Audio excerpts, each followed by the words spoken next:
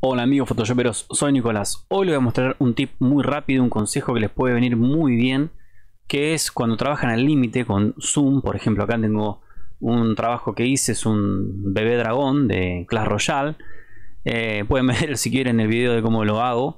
Bien, em, cuando se acercan demasiado, fíjense que se puede empezar a ver como todo el detalle de píxeles. Fíjense que dependiendo claramente eh, el color va a cambiar. Acá tengo, como esta imagen la hice yo, y de hecho está basada en lo que es eh, pixel art, se nota bien marcado. Pero cuando vas a una imagen común, como esta, te acercás, fíjate, te estás acercando y se va viendo como ese detalle de píxeles, píxeles, píxeles. Y de hecho cada puntito, ¿no?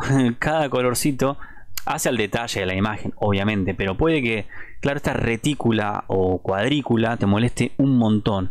Así que bueno, para deshabilitarla hay dos formas, la forma rápida y la o la forma de largo plazo.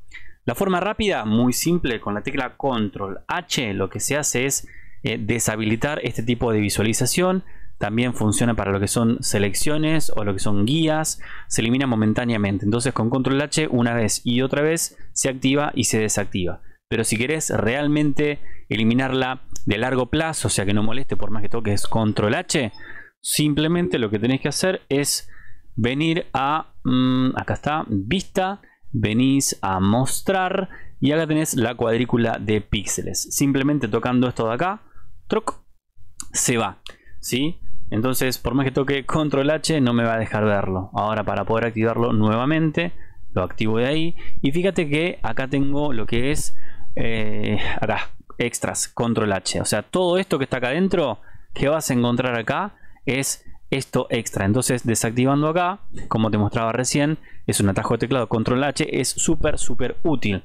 Como para lo que son las selecciones y un montón de cosas más que los vemos en los tutoriales del canal. En el caso de lo que es esta imagen, es exactamente lo mismo. Fíjate, con control H elimino esto momentáneamente y si no vengo acá a vista como te dije mostrar cuadrícula de píxeles y eso no molesta más. Fíjate que queda como mucho más puro. En este caso bueno mucho más puro que en el otro porque es un pixel art sí entonces está pensado de esa forma. En cambio en este otro la conformación de esos píxeles hacen a, todo esta, a todo este detalle de imagen que así son todas las imágenes no te preocupes. No te olvides de bueno eh, depende de esto que te conviene. Yo prefiero siempre dejarlo todo por defecto ahí está porque me sirve saber cómo viene la imagen, porque esto al momento de trabajar con varita mágica es bastante útil. Pero bueno, depende de cada imagen, como siempre digo, cada imagen conlleva una gran responsabilidad. Pero de esta forma puedes deshabilitar esa cuadrícula de píxeles que puede llegar a molestar dependiendo del zoom que hagas y la calidad que tenga la imagen, obviamente. Muy bien amigos, espero que les haya servido. Nos vemos en el próximo video. No se pierdan los próximos videos en el que comparto cursos de Photoshop especial para todos los suscriptores. Así que no te lo puedes perder. Suscríbete y estate atento. Se viene lo bueno, queridos y queridas, niños, niñas, todo del mundo. Todo el mundo galáctico acá presente. Vamos.